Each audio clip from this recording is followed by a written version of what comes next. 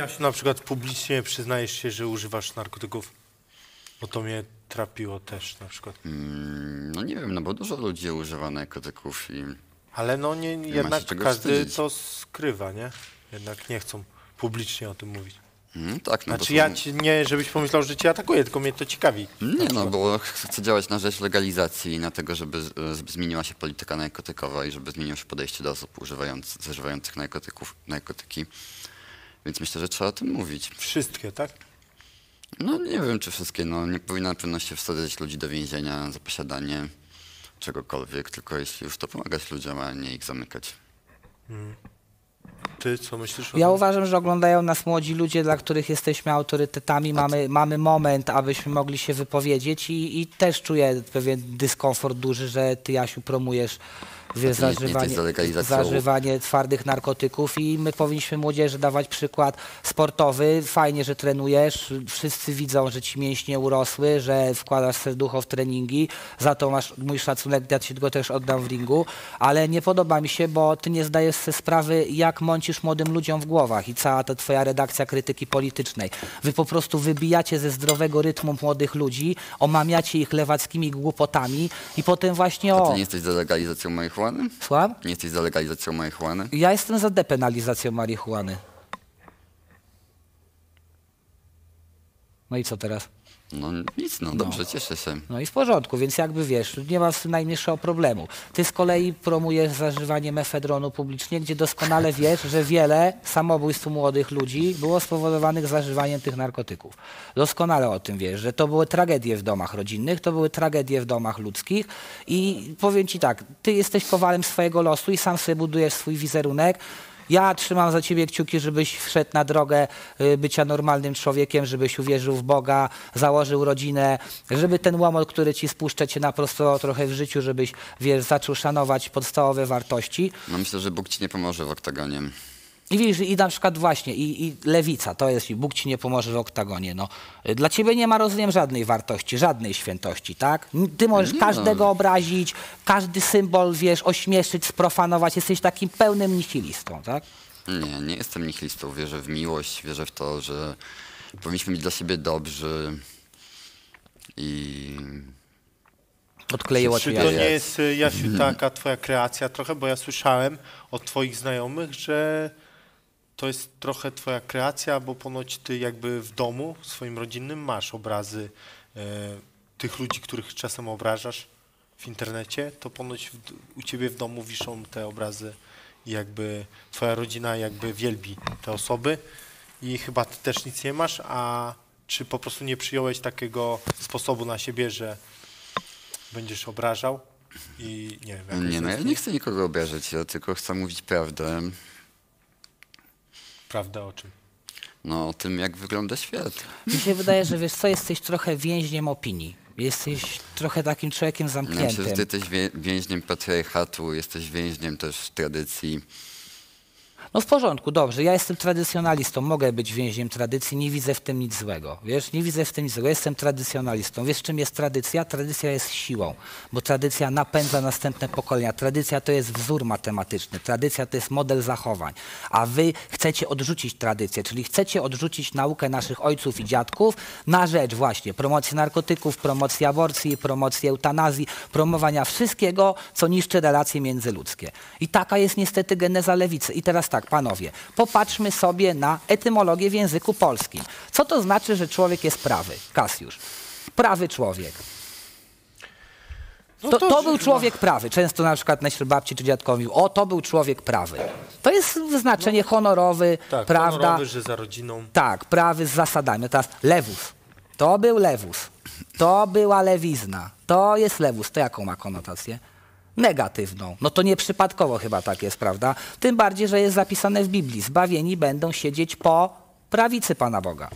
A No ale to, że ty mówisz w ogóle o prawicy i o, o byciu prawym, i e, skoro podawałeś fake newsy i, i kłamałeś publicznie, po prostu pracując w telewizji, to naprawdę... Przyganiał kocioł garnkowi. Człowieku, ty profanowałeś hymn narodowy, za co masz wyrok sądu, profanujesz pamięć żołnierzy E, Jestem wyklętych. niewinny i Sąd Najwyższy uznał, że mój czyn nie jest wręcz godny pochwały.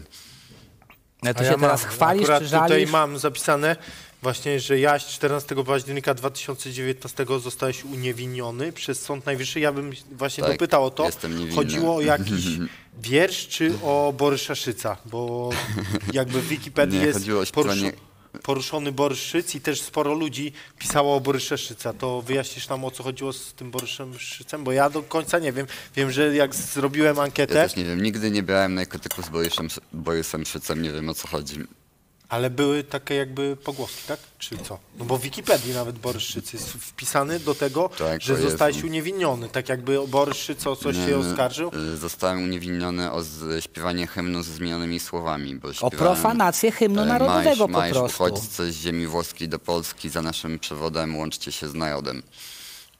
Za Mhm. co zostałem zgłoszony do prokuratury, że jest to obrażanie symboli narodowych Ale zostałeś uniewinniony. Y, Najpierw zostałem skazany przez jeden sąd w pierwszej instancji, potem? potem w drugiej instancji i w sądzie najwyższym zostałem uniewinniony i y, sąd uznał, że Tylko mój- nie mój rozumiałem, po co jest tam nie nosi- Szyc, bo w Wikipedii czytałem to. Jest tam Szyc nie wiem, o co chodzi z. Borysem. Wiesz, ale to też, jeżeli mógłbym się do tego odnieść, oczywiście. To są twoje tanie prowokacje, zwykły pastisz, zwykła amatorka, grafomaństwo, na, nastawione na prymitywne instynkty. Y, Szczycisz się tym, że sprofanowałeś hymn i cię sąd uniewinnił. No słyszysz, jak to brzmi w ogóle? Przecież nie czujesz w ogóle, jakim ty jesteś absurdalnym sprofanował- no człowiekiem. Jak można Ale na przykład hymn? zdajesz sobie sprawę, Jak że... zmienienie słów w piosence profanuje coś w ogóle? Co to jest za pomysł? To jest tylko piosenka, można zmieniać w niej słowa. No właśnie widzisz, i to ja jest ją ten- zaktualizowałem i zresztą Sąd Najwyższy uznał, że słusznie ją zaktualizowałem, bo zwróciłem uwagę na kryzys uchodźczy, e, który zresztą cały, z którym cały czas mamy do czynienia. Na granicy giną ludzie, dlatego że Polacy są takimi rasistami i są takimi rasistami przez e, takich dziennikarzy jak, jak ty, którzy wspierają Czekałem, ty debilu, na ten wątek. Graniczną. Jeżeli mógłbym się tutaj I odnieść i prosiłbym, żebyś nie przerywał przez chwilę, dobrze? Komuniści, staliniści mordowali księży katolickich, mordowali żołnierzy wyklętych, No mordowali żołnierzy wyklętych, ojcowie twojej ideologii, komuniści i różnej maści lewacy, mordowali bohaterów w polskim mundurze, mordowali żołnierzy wyklętych i teraz wy jako lewica i ty jako przedstawiciel krytyki politycznej atakujecie polskich żołnierzy, którzy bronili granicy przed najazdem, przed prowokacjami białorusko-rosyjskimi. Doskonale wiesz, że to były prowokacje białorusko-rosyjskie. Ty jesteś pożytecznym idiotą po prostu. To były prowokacje białorusko-ukraińskie, mające za zadanie wprowadzić rozruchy na granicy. Człowieku, jesteś pożytecznym idiotą, jesteś agentem, wspierałeś narrację białoruską. Polskie, polscy patrioci, chłopaki stali, bronili granicy, są gotowi życie oddać za barwy biało-czerwone. Ty w ogóle nie zdajesz sobie sprawy z tego, czym są wartości w życiu. Właśnie jesteś takim pustym, głupim lewakiem.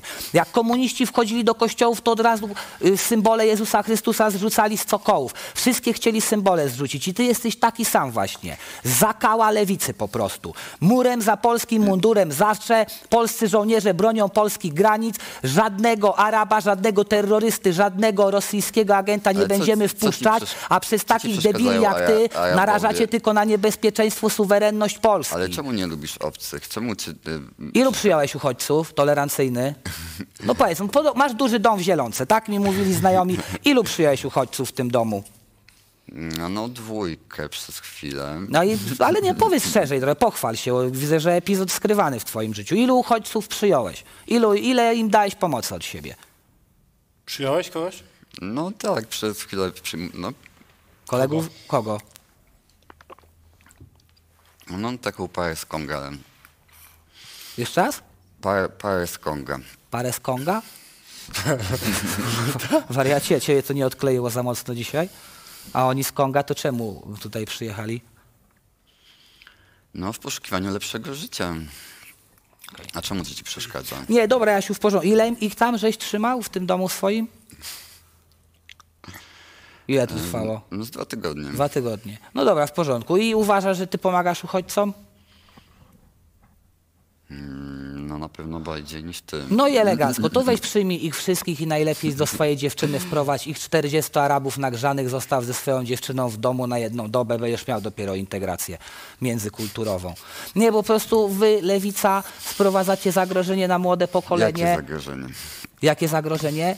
Ty debilu, stoisz po stronie prowokacji rosyjsko-białoruskich i nawet z tego nie zdajesz sprawy, że stary musieliśmy wysyłać polskie wojsko regularne, żeby broniło granicy, bo granica była codziennie napadana. I to były prowokacje białorusko ruskie i ty sobie z tego nie zdajesz sprawy. Jesteś jak ten twój głupi kolega Franek Starczewski, co poszedł pod granicę i biegał z bidonami i z kubełkiem KFC, aż się wywrócił. no. Uważam, że można pomagać ludziom i my możemy im pomóc. I nie, to jest parę tysięcy ludzi, których spokojnie możemy przyjąć w 30-milionowym No to kraju. przyjmuj ich u siebie w domu. Ja ci powiem, słuchaj, jakie jest remedium. zmieszczą się wszyscy w domu i Prawdziwa twarz lewicy. e, Dzwonił- dzwonił dzisiaj do mnie- do domu.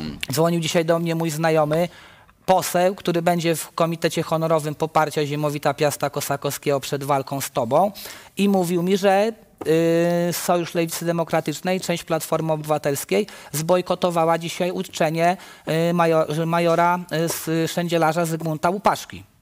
Wyszli z sali sejmowej przedstawiciele lewicy, No SLD. słusznie, no. No jak słusznie, przecież księdzielarz Łupaszka, major, żołnierz niezłomny jest patronem wielu szkół w Polsce, patronem szkół. No i I wy jako siła polityczna negujecie podstawowe wartości? Ale jakie podstawowe wartości, że napadanie na białoruskie wioski to jest dla ciebie wartość, zabijanie dzieci, mamy te, temu hołdować, bo... Serio? E, Ty sugerujesz, że oczywiście Łupaszka był mordercą, tak? Że żołnierze wyklęci byli mordercami, napadali Nie na białoruskie. ale- I to jest, popatrz, jakie to jest znamienne, że jeżeli chodziło o białorusko-rosyjskie agresywne prowokacje na granicy, ty stałeś po stronie rosyjskiej, bo bronisz tych niby uchodźców i tutaj również opowiadasz się po stronie rosyjskiej. To ja za... Nie, opowiadam się po prostu pod...